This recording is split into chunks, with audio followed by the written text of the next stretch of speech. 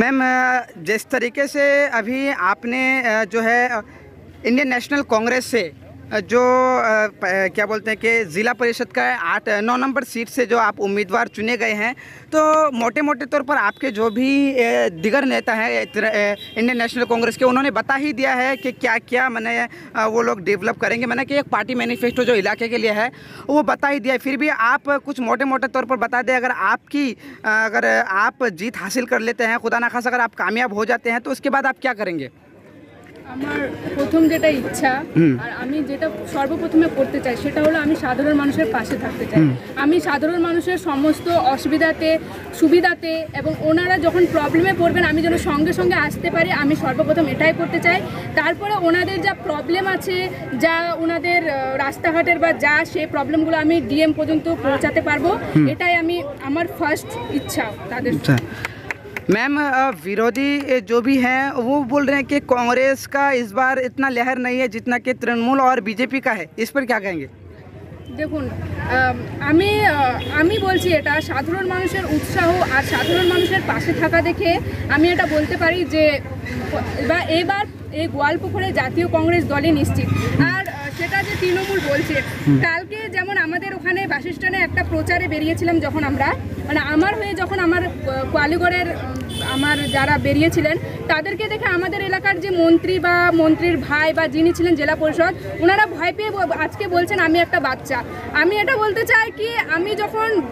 Nomination করতে পেরেছি, তো আমি কোনো বাচ্চা না আর আমি যখন একবার দুর্নীতির বিরুদ্ধে নেমে গেছি, তো আমি আর কিছু বলব না। अच्छा मैम अभी अ, जिस तरीके से आप अपने इलाके में अ, क्योंकि अगर ज़िला परिषद के सीट से लड़ रहे हैं तो कोई एक गांव या एक बस्ती या एक अ, इलाका नहीं है कई अ, अंचल है तो इन सभी अंचलों में आपको कैसा मैंने सारा मिल रहा है अभी लोगों का कैसा रुझान मिल रहा है आपको হ্যাঁ আমি আহ, সব জায়গায় ঘুরছি এবং সেখানে যেটা বুঝতে পারছি এবার সবাই কংগ্রেসকে দেবে কারণ এতদিনে পাঁচ বছরে তৃণমূলকে রেখে মানুষ বুঝে গেছে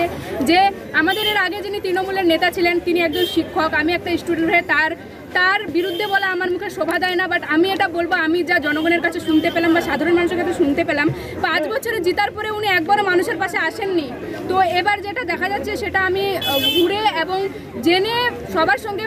কথা বলে যেটা জানতে পারলাম এবার জাতীয় কংগ্রেস দলই হান্ড্রেড পার্সেন্ট গ্যারেন্টি কি আমাদের গোয়ালপুকুরে আসবে और मैम अ, कुछ मैसेज देना चाहेंगे आम जनता को जो आपके इलाके के हैं হ্যাঁ আমি সমস্ত যুবক যুবতী ভাই বোন আমার বাবা মা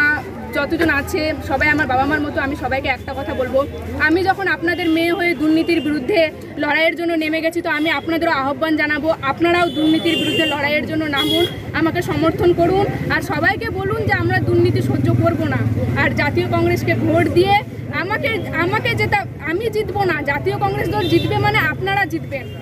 তাই আমি বলব যে সবাই, সবার কাছে আমার এটাই আহ্বান, কি সবাই দুর্নীতির বিরুদ্ধে প্রতিবাদের জন্য লড়াইয়ে নেমে পড়বে থ্যাংক ইউ ম্যাম বহুত বহুত শুক্রিয়া ম্যাম अ, सर वैसे अभी जो भी आपके जो भी सीनियर लीडर हैं या फिर जो भी जूनियर लीडर हैं उन्होंने स्पष्ट कर दिया है आम जनता को कि इंडियन नेशनल कांग्रेस की अगर यहाँ पर जीत होती है ग्वालपोखर में खास करके तो वो किस तरीके के डेवलप करेंगे और दुर्नीति से किस तरीके से लड़ेंगे? इसके ऊपर सर आप भी अगर कुछ दो चार बातें कह दें तो बहुत अच्छा होगा सर।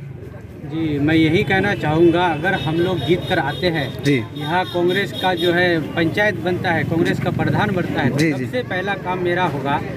मैं मोहम्मद इल्मुद्दा ये गारंटी के साथ कह सकता हूँ कि किसी गरीब पर जुल्म नहीं होने दूँगा जी। किसी जा, जालिम को जो है आगे बढ़ने नहीं दूँगा जुल्म के खिलाफ हमेशा आवाज़ उठाता आया हूँ और हमेशा उठाता रहूँगा